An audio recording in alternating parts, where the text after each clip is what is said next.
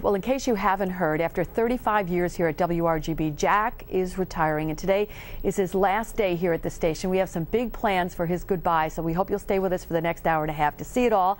I think I've compiled a very comprehensive look at Jack's career, some moments, in fact, that he might wish I hadn't found. and Jack will join us on set for that at 6 o'clock. But it turns out that there were so many people who wanted a chance to say goodbye to Jack that we're going to let them step up to the mic throughout all of our newscasts. And certainly, Jack, anyone who's had the pleasure to get to know you at all knows you are a great person, a great newsman as we find you, a consummate professional, really, but most importantly to all of us, a gentleman and a friend. Well, thank and you. we wish you all the best. Thank you. In your retirement, and we can't get we can't get mushy yet because we got a long way to go. You're right. We do. Okay. How are you feeling Yep. about this, though? It's it's such a weird day. I know. is so weird. And I'll, and I'll, I, Okay. if I start talking Hold about on. it, I'll, I won't hold on. So Hold on. Let me just say that the local landscape has had its ups and downs since I started here three and a half decades ago. And for my last story, I took a look at what went wrong, what's working now, and what the future may hold. You're watching CBS 6 News at 5:30. You're watching the news on CBS 6.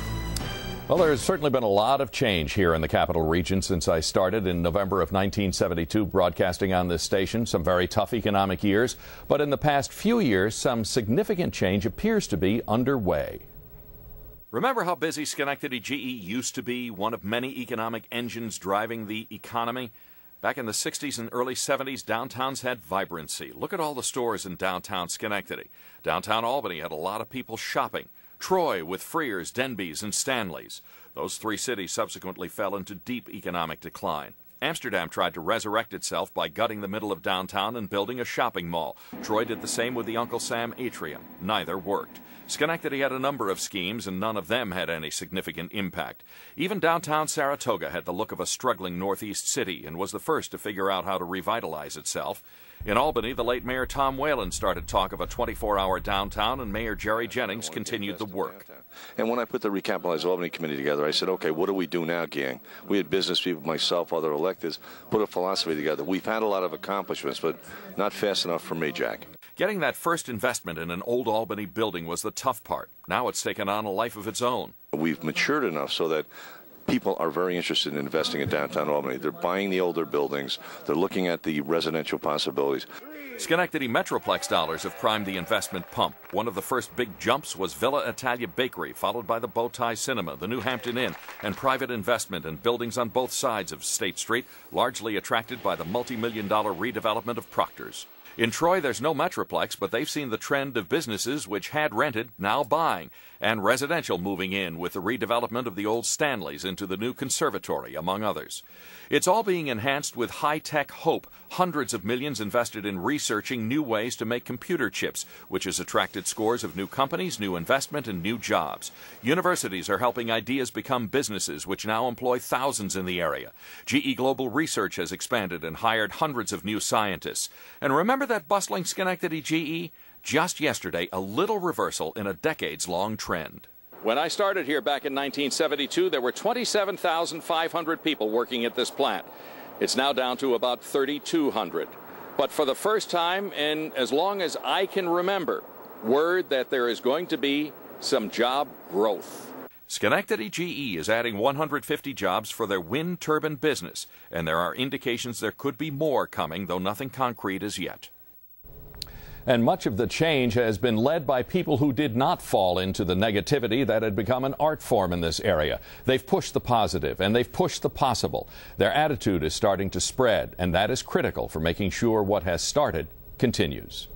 And I'm sure you could never have seen all the changes that, or foreseen all the changes that No, happened. no. I mean, when you know, for so many years it was just, oh, this is you know the capital district. Nothing can ever happen Yeah. here, and and you know, you just needed some positive reinforcement and some people to push that. it- And I it's think that your business reports helped to let people know what was happening, and it probably spurred other development as well. I hope so. It's Yeah. uh, you know there was there was always been a lot of interesting stuff going on around here, and I thought it was important for people to know that. And well, you certainly found it interesting, Yeah, and, I and made it did. interesting to us. So Good. Thank you for that. I won't see you won't hear me say nano again. We did raise our eyebrows a few times. Jack said nano a lot in the newsroom for sure. And for the final time, with Eye on Money, I'm Jack Aernecke. Uh, I did ask for just a moment or two to uh, say a couple of words. I've met some great colleagues here in my 35 years. More than half of my life spent in this building. Uh, some of them are gone. Bill Duffy, Dick Beach. Um, others have I've had long-term relationships with Mary Beth and Ken and Judy and Tom and Ed. And other than the first few months, Liz and I have had parallel careers here in this building, and I'm grateful life has afforded me that opportunity. People in the community, there are some great entrepreneurs here creating businesses and jobs so grandkids and kids can stay here to find their career around the corner rather than halfway across the country. Got to keep that trend going. My family has supported me through the crazy hours and the working holidays. My in-laws one year put the turkey in the oven at Thanksgiving at 4 in the morning so we could have dinner at 11 so I could be at work at 1.30. It's wonderful family support I've had. And for all of you who have invited me into my home, into your homes, so many have sent cards and emails. Many of you I have never met. I am so grateful. And all of you, by the example that you've given me, have helped me to realize that one thing is really, really important in this world. No matter what any of us may do for a living, no matter what our profession, the most important work any of us can ever do is to touch someone else's life. God bless. Well, you've certainly done that for all of us, for all of us here, and for all the people who have watched and have just loved you over the years, Jack. For, I mean, genuine is the word that everybody uses to describe you. Mm-hmm. You're so real. You're just such, you're so Jack all these years. I, and surely this moment here, our last moment together, sitting next to each other, mm-hmm. you know, it's just uh, a little part of me can't believe this. I know it. I can't believe it either. But yet, I've been looking forward to it for so long. Yeah. I've been planning for it for at least a good year to make sure I, all the financial ducks are in a row. And this last day is so hard. Yeah. It's just, I don't know. Because you have touched so many lives. There's a room full of young people up there that just adore you, that you've been a role model and a mentor to, mm. and all of the friends that you've had who have been with you all the way. We're, we're, we're so proud of you, of well, the person you. that you are and that you have have been to this, you know, to this profession. Thank you. Yeah. Thank you. God bless much. you. Thank you. A lifetime I, of happiness. And I guess you got something cooking for six. Oh my gosh, I forgot to say that. Don't don't miss it. It's it's a Jack's life in pictures here, so you're going to want to see that. That's coming up at six tonight.